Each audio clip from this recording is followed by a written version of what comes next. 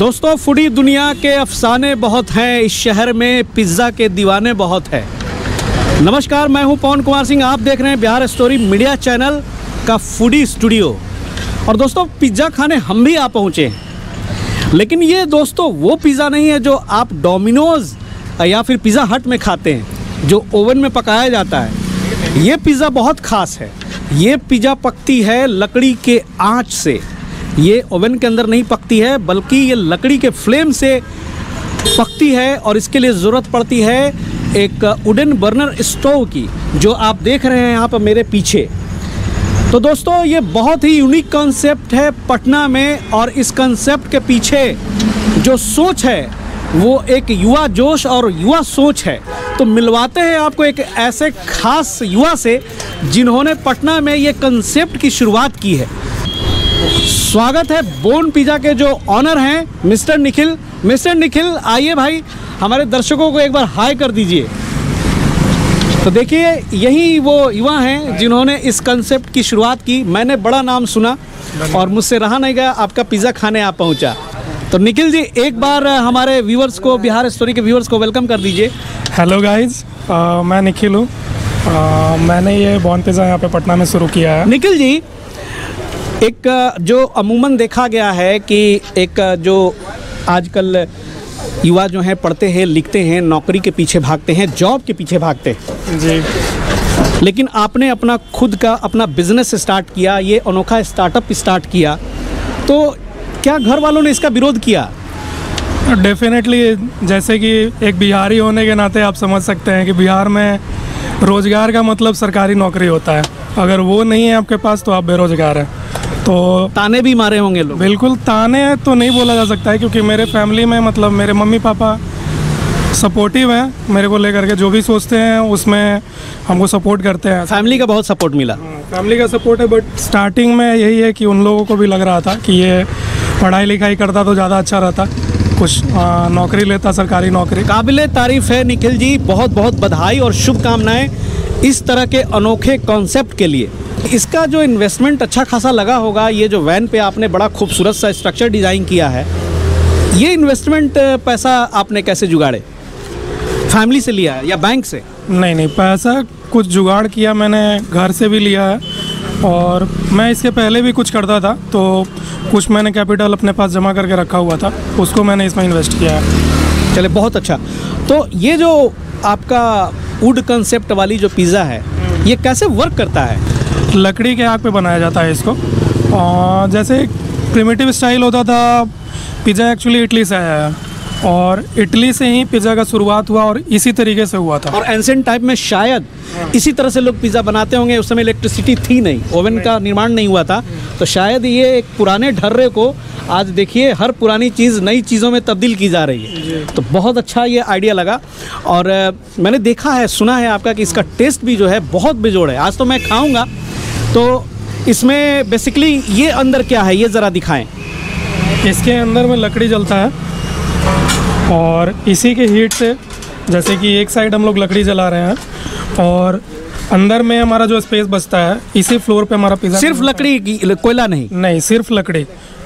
क्योंकि लकड़ी से जो होता है वो हम लोगों को फ्लेम मिलता है और फ्लेम के थ्रू ही मतलब पिज़्ज़ा को बेक किया जाता है। स्टार्टिंग में हम लोग ओवन को हीट करने के लिए लकड़ी को पूरा चारों तरफ़ फैला के रखते हैं ताकि हमारा बेस जो है वो फ्लोर पूरा हीट हो जाए। तो इसके अंदर की जो टेम्परेचर है निखिल जी वो कितनी होती होगी? टेम्परेचर अराउंड आप ढाई सौ तीन सौ और बहुत ज़्यादा अगर रश रहता है तो हम लोग वाकई बहुत गर्म है बहुत हीट है अंदर। और कितनी देर में ये पिज़्ज़ा तैयार हो जाता है? लोग लगभग साढ़े तीन सौ चार सौ डिग्री तक भी टेम्परेचर इसमें रखते हैं क्योंकि इसके अंदर पिज़्ज़ा जाने के बाद पकने में ज़्यादा समय नहीं लगता है। मुश्किल से दो मिनट और बहुत हीट है अगर तो एक मिनट। एक मिनट के अंदर पिज़्ज़ा बन के निकल जाएगा। इतना जल्दी तो ओवन में भी तैयार नहीं होता है? नहीं होता है। तो ये जो पिज़्ज़ा का जो डो तैयार होता है वो भी यहीं पर होता है? ये जो हमारे सामने जो देख रहे हैं तो ये सिर्फ़ मैदा है या इसमें कुछ और भी मिक्स किया है आपने? मैदा और वीट सब मिक्स रहता है इसमें। गेहूँ का आटा भी इसमें मिक्स, मिक्स रहता है। हाँ। और ये यहीं पर बेल करके और आप इसके बाद ये जो है इस पे चीज़ का जो लेयर आप बिछा रहे हैं और जो ट्रेडिशनल जो भी सब्ज़ियाँ वगैरह डालनी है उसके ऊपर पिज़्ज़ा की जो टॉपिंग्स है उसमें आप अलग अलग जैसे आजकल लोग खाते हैं अलग अलग जिस फ्लेवर में खाना चाहें वो खा सकते हैं। बिल्कुल खा सकते हैं। हमारे पास हर तरह का पिज़्ज़ा अवेलेबल है लेकिन वेज में। नॉन वेज पिज़्ज़ा हम लोग नहीं बनाते हैं। नॉन वेज आपके यहाँ नहीं मिलता है। और पिज़्ज़ा कितने से शुरू है आपके यहाँ? हमारे यहाँ पिज़्ज़ा एक्चुअली एक ही साइज़ में है। हम लोग स्मॉल मीडियम और लार्ज का कॉन्सेप्ट अभी तक नहीं रखे हैं। सिर्फ़ एक साइज़ है मीडियम साइज़ और स्टार्टिंग हम लोग का 120 से है एक सौ बीस रुपये में वो पिज़्ज़ा आप देते हैं। जी। चीज़ वाली चीज़ सब में रहती है। चीज़ तो सब में रहता है सर। चीज़ के बिना पिज़्ज़ा का मज़ा ही नहीं। तो ये हमारे सामने रखा हुआ है। ये आपके यहाँ जो पिज़्ज़ा मिल रही है उसकी मेनू है ना? जी। तो ये बिल्कुल देखिए सामने बहुत तरह के यहाँ पे कैटेगरीज हैं। और एक सौ बीस रुपये एक सौ पचास रुपये और मैक्सिमम तीन सौ बीस रुपये ये तीन सौ बीस रुपये वाली पिज़्ज़ा की क्या चक्कर है? लैटिनो गार्डन ये क्या होता है भाई? इसमें एक्चुअली बहुत सारे टॉपिंग्स आते हैं। हमारा स्पेशलिटी सॉस है। साइज़ वही रहती है। जी साइज़ वही रहेगा। इसमें एक्चुअली टॉपिंग्स का ही खेल है। पिज़्ज़ा में तो मोस्टली आप जो देखिए मतलब टॉपिंग्स पे ही पिज़्ज़ा होता है। अलग टॉपिंग्स है तो पिज़्ज़ा का नाम अलग है। खाने के जो अलग अलग शौकीन है, अपने पसंद के हिसाब से वो यहाँ पर आके चूज़ करेंगे। अनियन पिज़्ज़ा है टोमेटो पिज़्ज़ा है भेजी क्लासिक है। तो बहुत सारा है, आप स्क्रीन शॉट्स यहाँ से ले सकते हैं, ये आप सामने देख रहे हैं। तो ज़रा देखते हैं हम लोग कि ये कैसे पिज़्ज़ा बनता है यहाँ पे, जो डो तैयार हो रही है और उसकी जो टॉपिंग्स क्रिएट की जा रही है। बड़ा ही खूबसूरत लग रहा है। तो वुड वाली पिज़्ज़ा की तैयारी चल रही है। निखिल जी एक चीज़ जानना चाहूँगा। डिलीवरी जो होम डिलीवरी की भी यहाँ पे आप फैसिलिटी देते हैं क्या? होम डिलीवरी होता है। जैसे होम डिलीवरी ऑफिशियली हम लोग का स्टार्ट नहीं है लेकिन जो रेगुलर कस्टमर्स हैं उनका हम लोग जानते हैं घर कहाँ पे है। तो अगर कोई बोरिंग रोड वगैरह से आपको ऑर्डर करे उतना दूर नहीं है? बोरिंग रोड तक तो डिलीवरी यहाँ से हो ही नहीं सकता है पॉसिबल ही नहीं है। पॉसिबल ही नहीं। गरम गरम ठंडा हो जाएगा तो फिर अच्छा मज़ा नहीं आएगा। एकदम अच्छा नहीं लगेगा क्योंकि पिज़्ज़ा जो है गरम गरम खाने का चीज़ है। और इसका मैक्स टू मैक्स डिलीवरी जो एरिया होता है ना रेंज होता है लगभग एक से डेढ़ किलोमीटर उससे ज़्यादा नहीं। निखिल जी वीडियो देख के तो लोगों के मुँह में पानी आ रहा होगा लोग यहाँ पहुँचेंगे भी। थोड़ा सा लोकेशन जस्टिफाई कर दीजिए कि अगर कोई आना चाहे क्योंकि डिलीवरी तो आप देंगे नहीं। तो लोग अगर आना चाहें जो आपके दीवाने हैं जो देख रहे हैं वो कैसे पहुँचेंगे? देखिए जैसे हम लोग कंकड़ बाग में सिचुएटेड है हमारा ये। ये कहाँ पर हाँ, है? ये कंकड़ बाग में है जैसे खेल परिसर के लिए नाम से बोला जाता है इसको पाटलिपुत्रा स्पोर्ट्स कॉम्प्लेक्स। बगल में गायत्री मंदिर है और ये हम लोग लगाते हैं पटना खेल परिसर के पास पाटलिपुत्रा खेल परिसर बोलते हैं इसको। तो गायत्री मंदिर जो है कंकड़ बाग में बड़ा ही फ़ेमस है और वहीं पे पाटलिपुत्रा स्पोर्ट्स कॉम्प्लेक्स है, एक खेल परिसर है, वो भी बहुत फ़ेमस है। और यहीं रोड किनारे ये खूबसूरत सी आपको यहाँ पे एक गाड़ी दिखेगी, वैन दिखेगी बॉन पिज़्ज़ा का, जिसमें बड़ा ही स्वादिष्ट पिज़्ज़ा तैयार होता है लकड़ी के आँच से। और निखिल जी यहाँ आपको मिल जाएँगे। तो दोस्तों, खाने का मन हुआ तो ज़रूर आएँ, वीडियो देख करके, केवल बैठना नहीं है, यहाँ पे पहुँचना भी है। और टेस्ट करके आप बताएँ। और आपको बता दूँ कि आज मैं नहीं, आप नहीं, नीरज भाई नहीं आज हमारे देखिए एक यहाँ पे पहुँचे हैं सब्सक्राइबर ज़रा कैमरा दिखाइए भाई। ये हमारे ललन जी हैं, बहुत ही डियर सब्सक्राइबर हैं, प्रिय सब्सक्राइबर हैं, जो हमेशा वीडियोस को देखते हैं। और ये भी आप पहुँचे हैं जब इनको पता चला यहाँ पिज़्ज़ा के बारे में तो आज ये टेस्ट करके आपको पिज़्ज़ा का असली राय देंगे। आप लोग कहेंगे कि चैनल वालों पे भरोसा नहीं आप तो खराब को भी अच्छा बोल देते हो। लेकिन ये तो भाई आप ही के गैंग से हैं। तो ललन जी सब्सक्राइबर जमात। जी सब्सक्राइबर जमात से हैं। तो ये ये बताएँगे आज बताएँगे पिज़्ज़ा टेस्ट करके और तब जो रिव्यू होगा वो रिव्यू आप देखिए और यहाँ पे पहुँचिए। क्या ललन जी? जी। तो पिज़्ज़ा बनने वाला है यहाँ पे काम चल रहा है। यहाँ पर बेलन दौड़ाई जा रही है और देखिए ये आटा और मैदा का इस्तेमाल हुआ है इसमें। आमतौर पर जो डो मार्केट्स में मिलता है, उसमें केवल मैदा होता है। लेकिन यहाँ पे एक अच्छी बात मेरे को लगी कि यहाँ आटा जो है, गेहूँ का, वो भी इस्तेमाल किया जाता है। तो भाई, ये पेट के लिए भी एक तरह से ठीक ठाक रहेगा। और डो बनाने के बाद इस पर जो टॉपिंग्स की जाएगी और उसके बाद उसको जलती हुई भट्टी में डाला जाएगा, सब कुछ बड़ा इंटरेस्टिंग है। तो चलिए, पिज़्ज़ा बन के रेडी होती है पाँच दस मिनट, पाँच मिनट में रेडी हो जाएगी। पाँच मिनट में पिज़्ज़ा बन के रेडी होती है। ललन जी हमारे सब जो सब्सक्राइबर है, वो टेस्ट करेंगे और आपको रिव्यू देते हैं।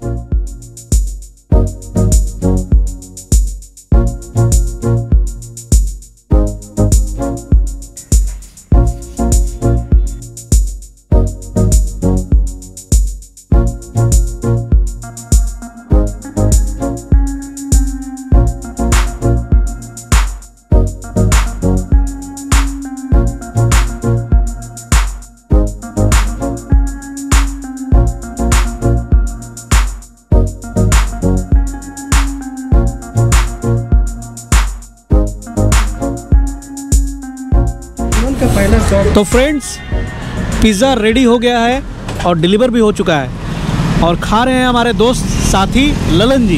बैठिए बैठिए भाई तो ललन जी ज़रा स्वाद लेके बताइए कैसा है? पहले आप खाइए भाई। तो ललन जी पिज़्ज़ा का बाइट ले रहे हैं और यही आज रिव्यू देंगे।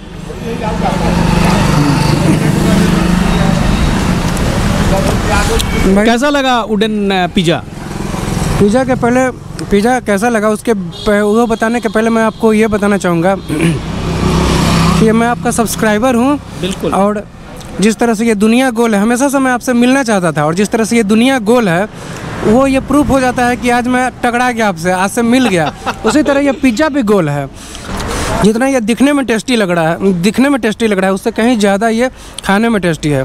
और मैंने रेस्टोरेंट का भी खाया है वहाँ जो पिज़्ज़ा होता है और ये जो उडेन में बना हुआ है यहाँ जो इसमें लकड़ी के आँच में। लकड़ी के आँच से जो ये सीझा हुआ है ना इसका एक अलग सा टेस्ट काफ़ी टेस्ट इसका बढ़ जाता है। अगर उसको आप हंड्रेड परसेंट दीजिएगा तो इसको टू हंड्रेड देना पड़ हंड्रेड तो दोस्तों एक ट्रू रिव्यू। हमारे ललन जी हैं सब्सक्राइबर हैं पहली बार मुलाकात हुई है जो ये टकरा गए हैं कहते हैं ये अपने शब्दों में। और इन्होंने आज टेस्ट किया। और आपके सामने 10 में से कितना मार्क्स दस में से एलेवन ग्यारह। 10 में से 11 अच्छा ललन जी पकड़ रहे हैं। तो आइए हम लोग भी ज़रा टेस्ट किया जाए। देखिए कि ललन जी ने झूठ तो नहीं बोल दिया। वाह खूबसूरती तो इतनी है कि देखते ही भाई लोग मुँह में पानी आ रहा है, आपका भी आ रहा होगा। और ये देखिए, कितना खूबसूरत है। और एक हाथ में तो माइक है। काफ़ी चीज़ जो है, देख रहे हैं ये। ये देखिए, यहाँ पे चीज़ जो है गरम गरम धुआँ उठता हुआ।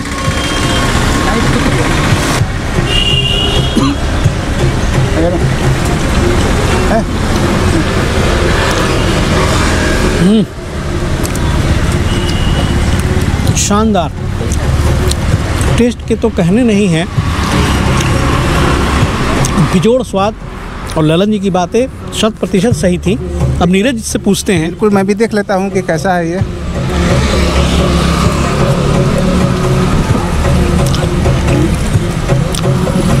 वाकई बहुत अच्छा है। कमाल का है।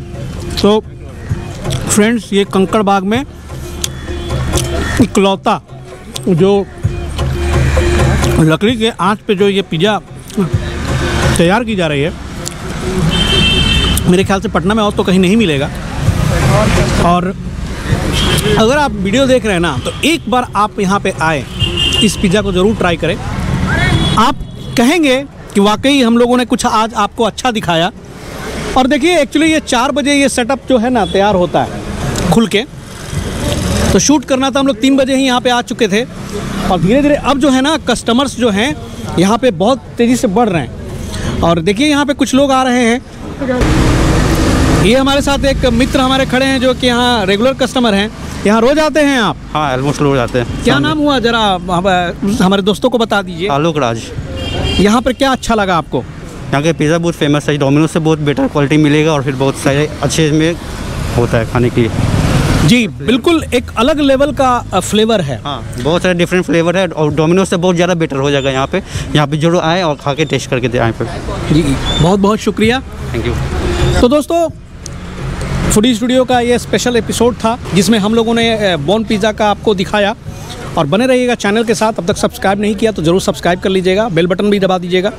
और मिलते हैं फिर नेक्स्ट एपिसोड में एक नई चीज़ के साथ। तब तक के लिए जय हिंद जय भारत।